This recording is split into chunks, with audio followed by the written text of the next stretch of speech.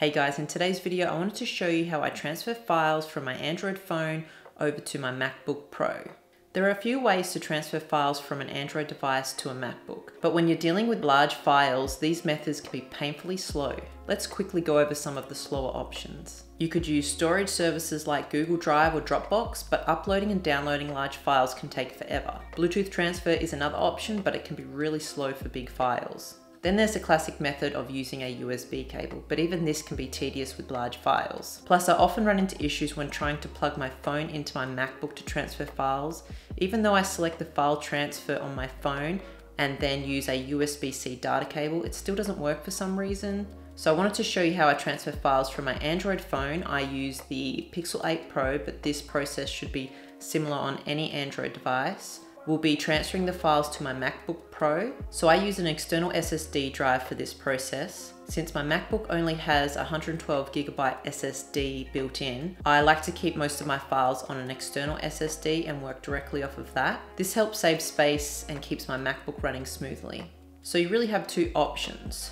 Transfer files directly onto your MacBook if you have plenty of storage, or store the files on an external SSD drive and just plug that in to your MacBook and work off of that. For my external SSD drive, I choose the Crucial X9 Pro for its fast speeds but you could also use a USB stick or any external hard drive. However, SSDs are generally more reliable and faster than traditional spinning disk external hard drives. Most newer phones have a USB-C connection which looks like this. You can now buy SSD drives and USB sticks with a USB-C port, allowing you to plug it directly into your phone without any adapters. But if you already have a USB-A hard drive, you can get one of these USB-A to USB-C adapters.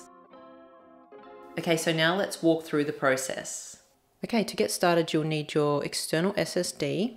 And if you have a brand new one that you've never used before, a good thing to do is plug it into your MacBook to make sure it actually appears on your Mac and to make sure that it's in the file format of exFAT. So I'll just show you how to do that first. So we want to plug this in. So I've plugged this into my Mac and you can see it appears up here. But if your USB or external hard drive doesn't appear there, you want to come up to Spotlight and go to Disk Utility App. And then in here, you can see you have your external drive.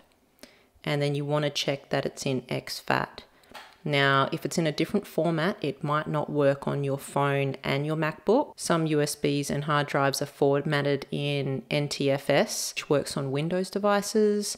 And if it's formatted in that, it's not going to appear over here on your MacBook it will appear here, but you won't actually be able to open up anything on the hard drive or USB. So you'll need to come into here and reformat the hard drive and change it to exFAT. So all you'll do is click erase and then it will ask you to format and then you click the format exFAT and then it will wipe everything off of the hard drive. So make sure if it's stuff you need, you've copied it onto your Windows computer or another device. And then once you've done that, it's going to erase the hard drive and then you'll be able to use it on your Mac and your Android phone. Okay, so once you've checked that your hard drive or USB is in exFAT, then we are good to go. So I'll close out of this and eject my hard drive. Okay, so I'm going to plug my external SSD into my phone. And then once it's plugged in, if you have a look up the top here, you can see this little USB symbol. We want to swipe down from the top. So if you click on this, it'll take you into the SSD and you can have a look at the files on there but we want to go to our phone's file manager, which for the Google Pixel is this one here called Files. So we'll click on that and then you'll be able to search for the file that you want to transfer to the SSD. And there's a few ways to do it. For the Google Pixel, it um, separates things into categories here. Or you can come down to internal storage and then search for your DCIM folder. And that's where a lot of the stuff from your camera roll will be sitting. Um, so any photos and videos. So for me, I've actually made a folder on my phone called video.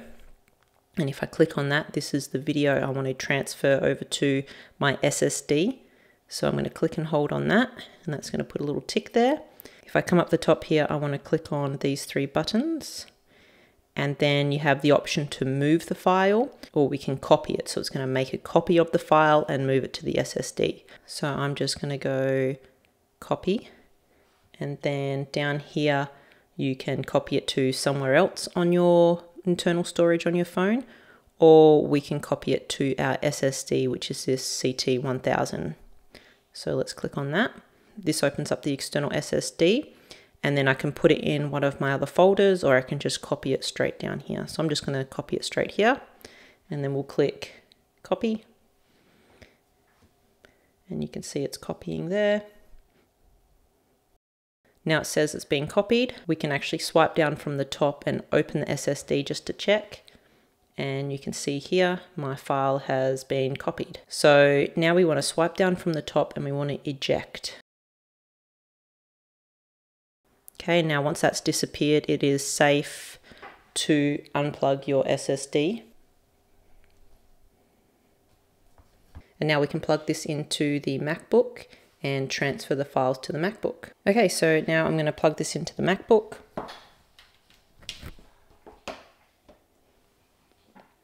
And we can see my SSD right here, so we can open it up.